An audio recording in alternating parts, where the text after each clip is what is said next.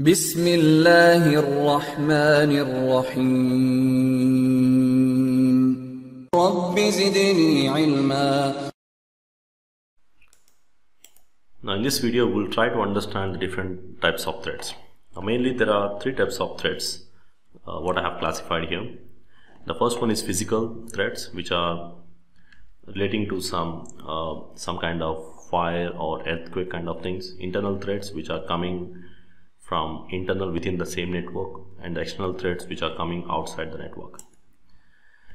Now physical threats uh, majorly deals with uh, different options like we have hardware based threats.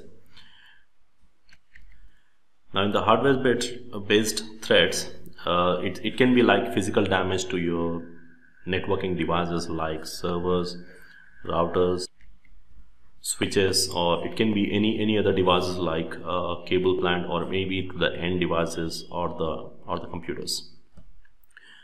Now or it can be relating to some electrical threads which are majorly dealing with all the electrical components. Uh, and also it can be relating to some maintenance based threads now maintenance is relating to like uh, your handling poor handling of the electronic components or maybe you don't have the essential spare parts like you, you got some uh, issue with the router you, you got some uh, physical damage to the router maybe uh, it's it's not booting up. We need to make sure that we do have some additional uh, spare router in in the network so that I can replace it with a with a router.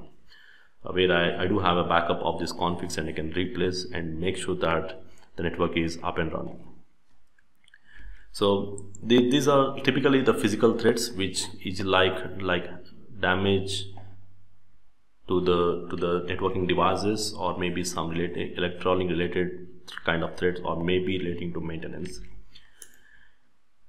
Now internal threats are nothing but the threats from the users sitting inside your network maybe the employees. Like like one example is the sales user is trying to access some database from the finance service which is strictly not allowed but the user is trying to do that. So where user user of either he can physically steals or damage the data or maybe he can he can just go log into the computer and he can delete all the database. Um, and probably user user actually here knows already the network and the physical access and, and also he has complete knowledge of the internal network as he is inside as a as an employee working in the company now there are some some kind of uh, mitigations or the countermeasures we can use to detect and prevent like using some physical security by applying some physical logs and ensuring that no one like I don't want any of the sales users to enter into my data center or, or maybe a rack room. And I don't want him to log into any of the devices. And strictly you know you you just allow only the IT department people to get into the get, get access to specific devices. Now physical security or adding some cameras, surveillance cameras for monitoring. Also ID access policies like a group of users can only uh, can use their ID cards or ID access for access to specific resources to what they are limited for. And also we need to add some uh, ensure that we, we, we apply some kind of data loss prevention mechanisms like uh, having a backup of the data or or if someone if a user is trying to delete so we we just say that you don't have permissions to delete that. So it's just like applying some permissions to the data where uh, no one can actually delete that information.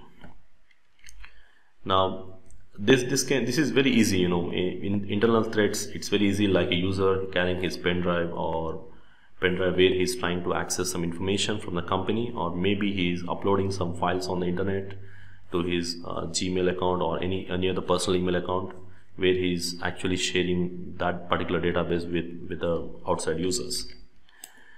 Now the threats can be internal and also the threats can be external also. So mostly like generally we call hackers. Hackers are nothing but a user uh, sitting on the internet and he's trying to get get into your network. Uh, maybe he's trying to get access to your network so that he can get some information of your network or maybe he's trying to introduce some kind of attack where his intention is to make sure that your network is down or send some kind of malicious traffic which can impact the performance of your network or or maybe the devices. Or maybe attacker is uh, attacker is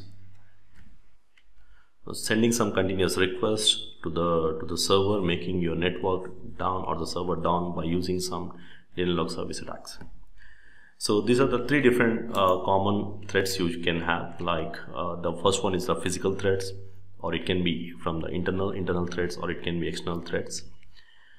And the most common threats you will see in most of the offices like the, the unauthorized users are trying to access the network or maybe they are they're doing some alteration alteration or modifying the information or tapping the information.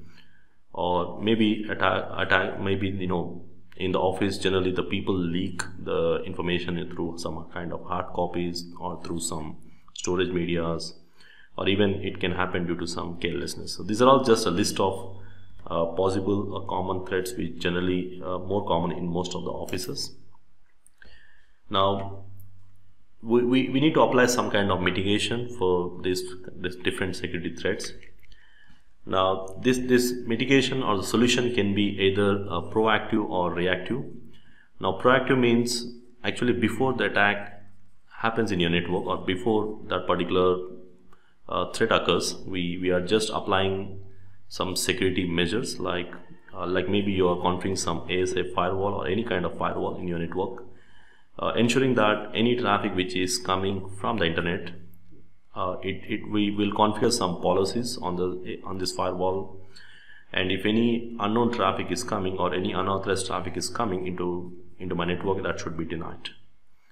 And also I want to restrict the user should be able to access specific uh, specific traffic on the internet. So we can control the flow of traffic between the LAN and on the internet by using some kind of dedicated devices like firewalls uh, where it will do all, all the things. Or another thing is like you can also configure some of the devices like uh, some kind of IPS intrusion prevention system uh, devices.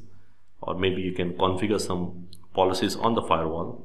So if it detects any kind of malicious traffic and I can I can tell my IPS device or the firewall to monitor that traffic.